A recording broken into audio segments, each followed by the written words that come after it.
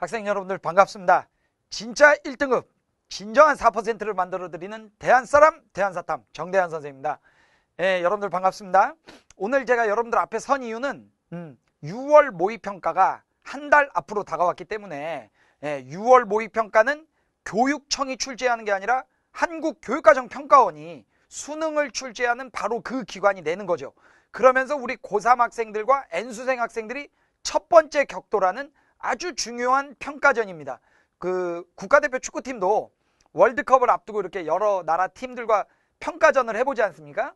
그래서 이번 6월 모의평가 정말로 중요하고 긴장되고 떨리는 시험인데요. 제가 여러분들에게 기획 특강을 그래서 6월 모평 볼 때까지 일주일에 하나씩 TCC로 계속 업로드할 예정이에요. 1주차 첫 번째 기획 특강 1탄은 순자님과 한비자님을 비교시키는 이런 주제입니다. 이게요. 작년 6월 모의평가에 16번에 나왔는데 가장 많이 틀린 두 번째 문제였어요. 순자, 한비자 비교하는 게. 9월 모의평가에서는 정답률이 30%밖에 안 됐어요. 10명 중에 3명밖에 못 맞췄다는 얘기죠. 7명이 겁나 틀렸다는 얘기예요. 오답률 1등, 1등. 당당히 1등. 수능에서도 당연히 나왔죠. 순자인지 한비자인지. 전통적인 주제예요. 수능에서는 어, 정답률이 55%. 절반 정도 맞추고 절반 정도 틀렸다 이거죠. 어, 오답률 랭킹 3위.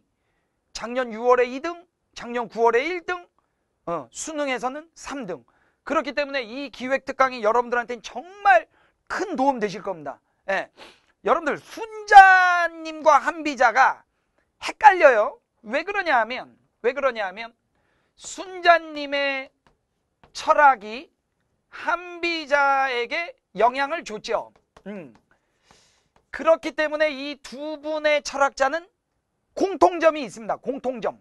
어떤 점이 공통점이냐? 인간을 나쁘게 봤다는 거예요. 음. 성악설. 음. 인간은 이기적이다. 이기적이다.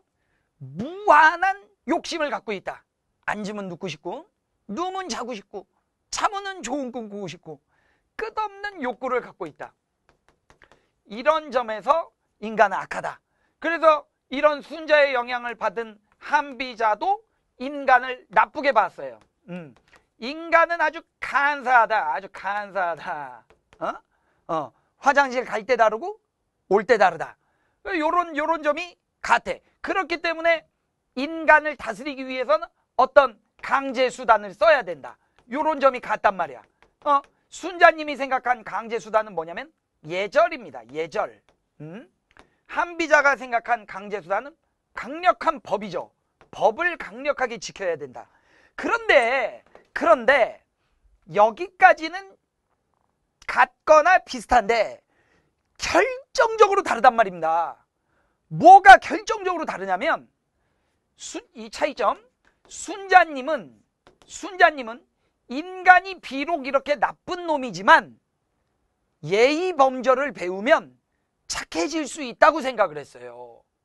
착해질 수 있다. 교화가 가능하다. 가르쳐서 변화시킬 수 있다. 인간이 비록 나쁜 놈으로 태어났지만 착하게 만들 수 있다. 이렇게 생각을 했단 말이에요. 순자님은.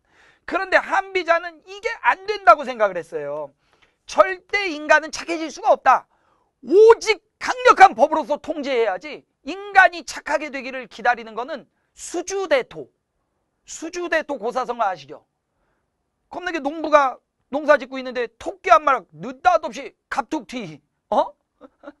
농사 짓고 있는데 토끼가 갑자기 툭 튀어나와가지고 겁나게 뛰어가다가 빡 나무에 부딪혀 죽어. 그 농부가 농사 짓다 말고 대박 토끼 한 마리 날로 건진 거죠.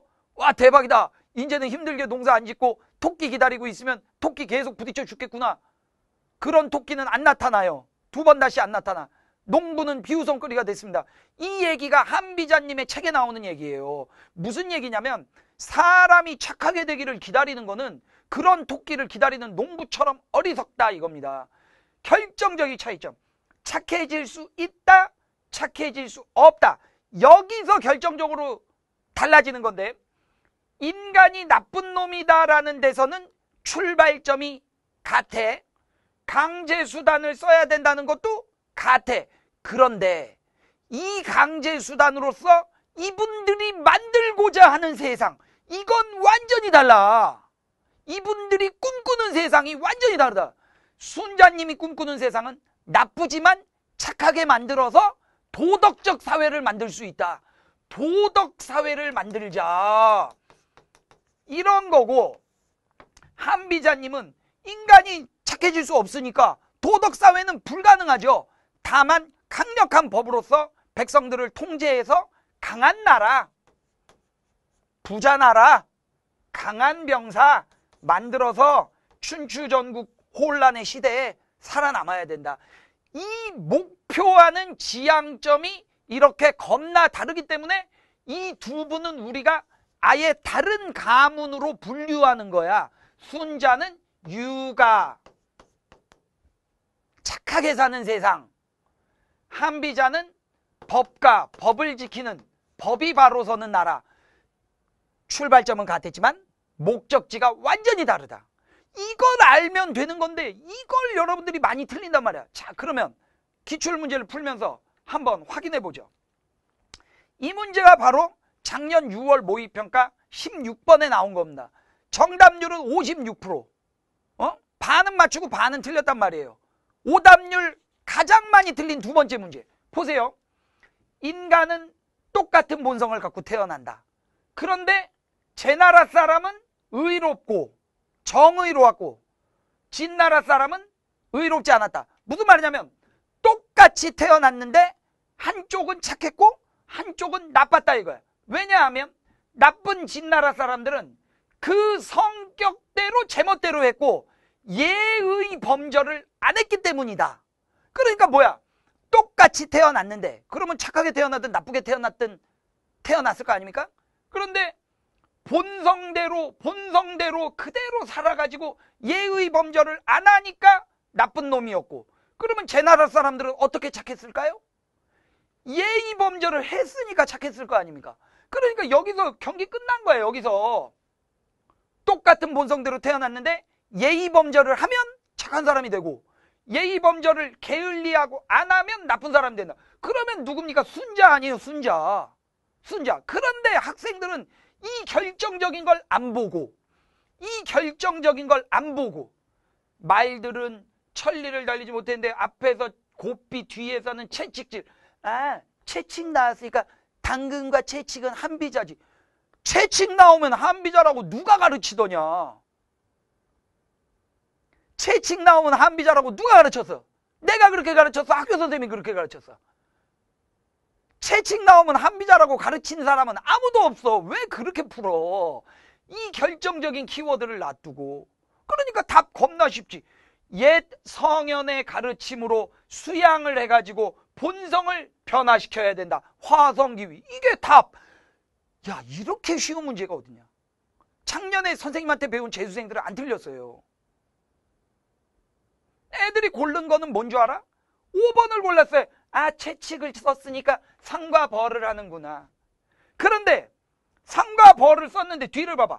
도덕적 타락을 예방해야 된다. 그러니까 도덕적으로 타락하지 않게 해서 도덕적인 세상. 한비자는 도덕적 세상이 안 되는 사람이야. 그러니까 이거 5번 써서 애들이 겁나 틀렸거든. 1번 써서 맞춘 애들이 절반, 5번 써서 틀린 애들이 절반. 근데 이 5번 써서 틀린 애들이 얼마나 웃긴 애들이냐면 한비자도 아닌 제시글을 보고 한비자인 줄 착각하면서 한비자도 아닌 선지를 고른 거야. 얼마나 비웃기냐. 한비자도 아닌 그래 한비자도 아닌 걸 골라서 한비자인 줄 알고 순자하고 한비자 비교하는 건 꼭 나옵니다. 이 결정적인 키워드 예의 범절을 중요시하면 유가 아닙니까 유가 답 1번 음. 이거 이거 간단한 것만 알면 전혀 무섭지가 않은 문제였어요. 자, 그러면 9월 모의 평가 한번 보십시오. 9월 모의 평가. 자, 9월 모의 평가는 어떻게 나왔냐면 보세요. 상과 벌의 무게가 있는 나라는 강하고 여러분들 또 꼬, 꼬부기들 꼬부기들 상과 벌만 나오면 한비자인 줄 아는데 여러분들 상과 벌은 결정적인 단어가 아니에요. 여러분들 옛날에 유가의 선비들도 나라에 큰 공을 세우고 그러면 임금님이 포상을 줍니까 안 줍니까? 너는 참 충성심 있는 장군이구나. 호피 하나를 겁나해 주겠다. 상 줘요. 그리고 나쁜 짓 하면 범죄 저지르고 그러면 조선시대에 깜빵 안 갑니까? 깜빵 가요. 상과 벌은 결정적인 게 아니야. 유가도 상과 벌이 있고 도 저기 유가도 상과 벌이 있고 법가도 상과 벌이 있어. 그렇기 때문에 상과 벌은 결정적인 게 아니야. 근데 애들은 상과 벌이 결정적인 줄 알고 한비자인 줄 알아. 그게 아니야. 끝까지 봐봐. 상과 벌에 있는 나라는 강하고 상과 벌이 가, 약한 나라는 약한 나라인데 권력이 한 곳에서 나오는 나라는 강하고 권력이 두 곳에서 나오는 야, 나라는 약합니다. 그러니까 왠지 여러분들은 아 권력이 있구나 왕의 권력인가 막 이런 생각을 하는데 여기 봐봐 결정적인 나오자.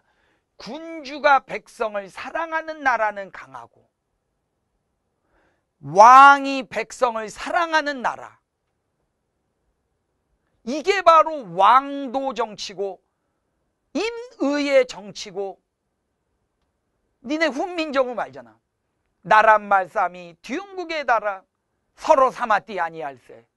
이에 내린 백성이 니르고자 홀베이셔도 세종대왕이 백성들을 사랑하는데 이 우리 꼬부기 백성들이 글자를 몰라가지고 니르고자 할 바가 있어도 말할 게 있어도 글자를 쓰지 못하는 이 백성들을 어여삐 여겨 이에 한글을 맹간하니 그 뜻을 실어 퍼지 못한 놈이야노라 백성을 사랑하는 한비자는 백성을 사랑 안 해요. 그런 감정을 기대하지 않아.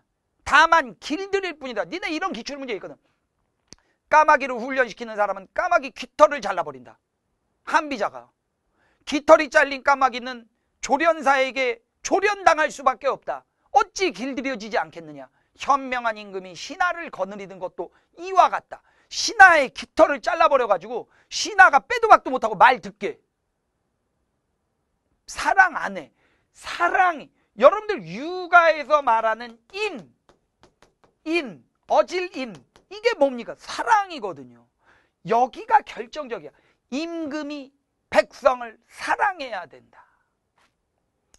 1번 써서 이게 틀린 거죠. 정답률이 30%인데 70명이 틀렸는데 1번 써서 틀린 거예요. 이겁니다. 성인이 만든 예의범절을 배워야 된다. 답 2번이에요. 2번. 음.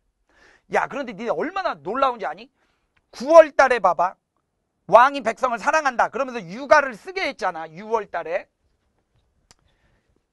아니 6월 달에 한다. 9월 달에 9월 모의평가 마지막 평가전이죠. 그리고 수능에 어떻게 냈는지 보세요. 원래 백성은 이기적이다. 나쁜 놈이라는 거죠. 성악하다는 거야. 성악하다. 그런데 군주가 열심히 일하는 사람에겐 상 주고 게으른 자에겐 벌 주고 상과 벌은 결정적인 게 아니라 그랬어. 그러면 그러면 백성들은 게을러지지 않다. 봐봐 여기 결정적. 임금이 백성을 좋아하지도 않고 백성들과 친하지도 않으면서 충성심을 바라면 안 된다. 임금은 백성의 어머니다. 근원이다. 임금이 맑으면 백성도 맑고 이게 바로 공자님의 정명정신 아닙니까? 왕은 왕답게 신하는 신하답게 왕이 백성을 사랑하지 않으면 안 된다. 방금 전 방금 전 작년 9월 모의평가 작년 9월 모의평가 임금이 백성을 사랑하는 나라는 강하다. 사랑한다. 그 다음에 수능 봐봐. 임금이 백성을 사랑하지 않으면서 충성심을 기대하면 안 된다. 백성을 사랑해야 된다 이거야. 그게 바로 도덕사회지. 왕이 백성을 사랑하는 세종대왕의 겁나 정치. 그러니까 답 순자. 그러니까 예절로서 어, 다스린다. 이게 답이야. 얼마나 겁나 겁나 쉽니? 또 애들 이거 골랐다 법과술 한비자. 상가버리구네. 겁나 꺼부기들. 어니북이 돼야지 어니북이. 어니북이도 되고 이제 겁나 9월달 되면 우리가 거부광도 되고. 여러분들아 포인트. 다시 한번 포인트. 공통점이 있어. 인간은 나쁘다. 그러니까 좀 강압적으로 이렇게 좀 예절을 지키게 한다거나 법을 지키게 한다거나. 그런데 이걸로써 만들어가는 세상 도덕적 세상. 임금이 백성을 사랑하고 백성들도 임금을 사랑하고. 이런 도덕적 세상. 그래서 순자님은 유가. 이름도 얼마나? 순자. 이름도 순자. 네, 한비자는 도덕사회 안 된다 불가능하다. 교화 안 된다. 결정적인 키워드. 올 6월에 안 나올 것 같습니까? 올 9월에 안 나올 것 같아요? 내가 진짜 이 화면에 내 팔목을 걸겠다 이런 말은 못하겠고 내가 다음 달 6월 모의평가에 반드시 나올 거고 9월 모의평가에도 나올 거고 수능에도 나올 거고 항상 오답률 다섯 손가락 안에 드는 어려운 문제가 될 건데 좀만 알면 어려운 문제 아닙니다.